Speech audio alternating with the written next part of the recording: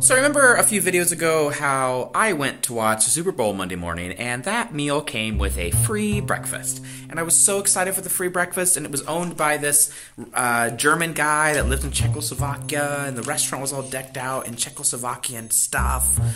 Czech stuff now, I guess. I think it was old Czechoslovakian stuff because it was really old. But, anyways, um, my point is, I was just chomping along on my breakfast, and I was like, these sausages are really tender bit weird. And then the more I ate, the further in I got.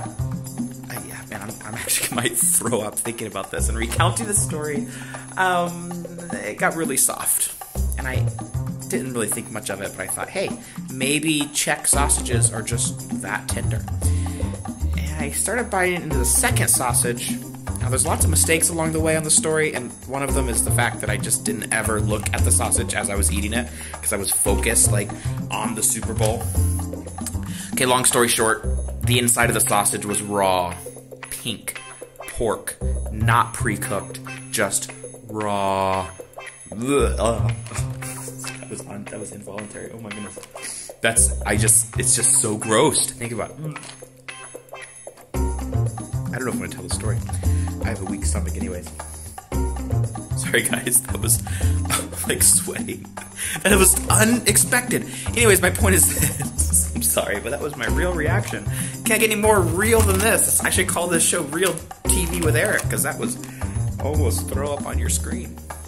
Um, my stomach's been feeling weird ever since. I don't know if it's actually feeling weird or if it's just feeling weird because I have this weird like hypochondria, whatever placebo effect, whatever the whatever the reverse of placebo effect is.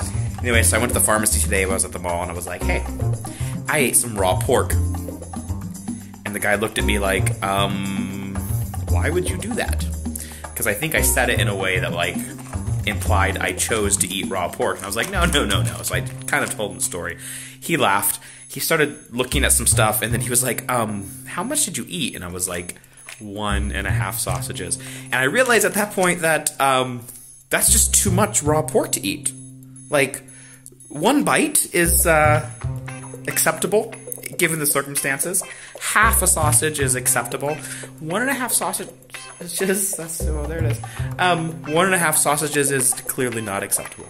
All right, here's my point. This is a long story. This is like three minutes video. This is like my entire video, guys. I should just do these because I think these blogs are kind of interesting. Stories from Eric's Daily Life. Three days of this. Anti-parasite medicine because my stomach that day did not feel bad, but it keeps feeling a little bit worse. I don't know if it's all the Thai food I'm eating. I mean, who knows? I could have gotten a parasite from somewhere else. All I know is when I lived in Vietnam, I had a parasite, and it almost ruined me. Um, I thought I would die.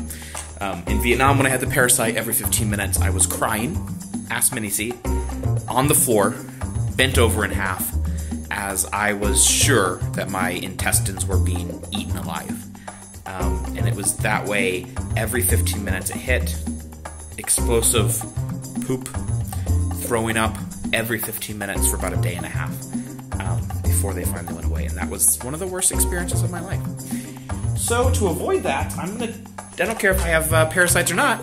We're going to uh, have some drugs. Drug time, ladies and gentlemen. All right, peace out. I'm now on my way to the post office again. That was a little miniature story on the way to the post office.